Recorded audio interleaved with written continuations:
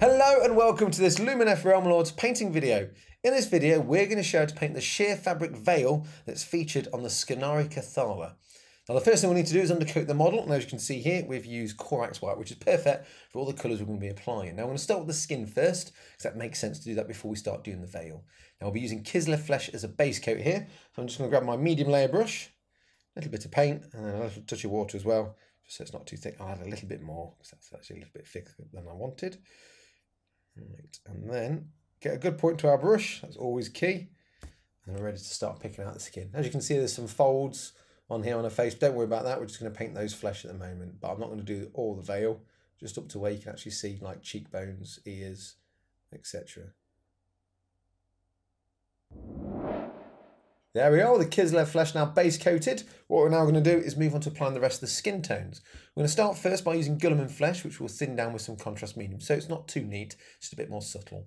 Once that's dry, we'll be using Kislev flesh again to pick out the raised details, then we'll finish off with a highlight of flayed one flesh. But first of all, let's start off with our contrast and Guilliman flesh mix. So I'm going to get about three paintbrushes of contrast medium, give that a quick wash and a dry, and then one paintbrush of Guilliman flesh mix it together.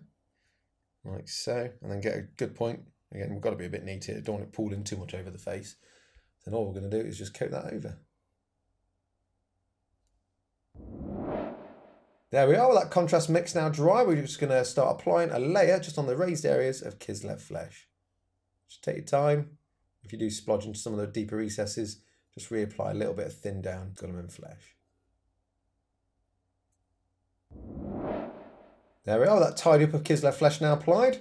We're going to finish off the skin by using some flayed one flesh as a highlight. Just picking out some extremities, cheeks, brows, nose, ears, etc.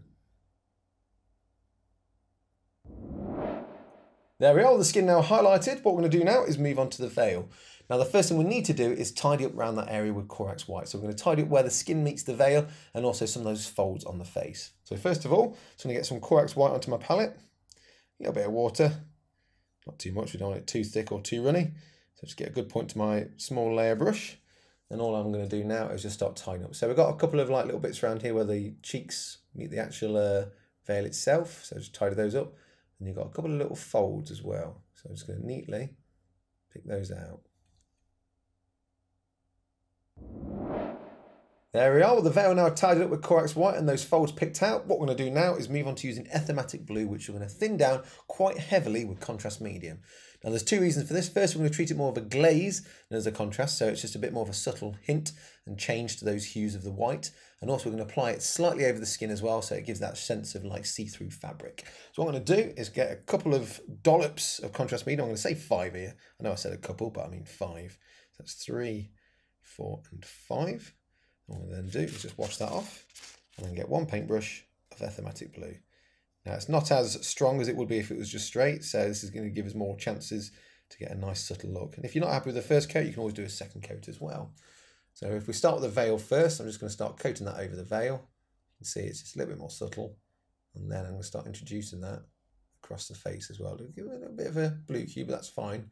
Because that helps build up those layers when we get around to doing that glaze of white in a bit. There we are with that Aethermatic Blue mix now dry. What we're going to now do is move on to our final colour, which is White Scar. Now we're going to do two things with this. The first thing we're going to do is make a glaze of White Scar and coat this over the skin and also join up some of that veil together as well. Once that's all dry, we're then going to highlight all the folds and edges of that cloth with White Scar. Now the purpose of doing the glaze is it's going to be slightly transparent and it will give you that sense of sheer fabric as well. Now when doing glaze as well, we're trying to get the consistency of milk here. So it's quite watery. It's not quite a shade, it's not quite a contrast, it's just a really thin down layer that when it dries will be a little bit more transparent. So what I'm gonna do is just get some white scar onto my palette, not too much. And I'm gonna get a paintbrush of water, mix that in. Now when I say we're looking for consistency of milk, white is perfect for this because know, most people have milk and can see what that looks like. Now that's a bit too thick, so I need to add another paintbrush there. Now this is starting to look a lot better actually. I think one more paintbrush of water using this size brush, which is a medium layer brush. That's much better. So what I'm now do is just try not to overload the brush too much because we're going to be layering this. Now, if it's too thin, that's not really the end of the world because it's better to have multiple thin coats than one thick coat. So what I'm now going to do is just start painting that across the face. Now you can see it's pooling in the recesses a bit there. So what I need to do now Let's just move some of that away. Like I said, all we're aiming to do really is layer it over. So it's almost changing the flesh so it's more pale, so it looks like it's poking through cloth. There we are with that white scar glaze now dry. All we're going to do now is just start highlighting those folds of cloth. So I'm just going to start the one on the veil like so, just add a little bit more white to it, a bit more punch. A little bit there as well. I'm just going to start moving on the veil itself. There we are, with our highlight now done, our sheer fabric veil is now completed. Now remember, just by following the methods and techniques in this guide, you can apply this to any form of cloth.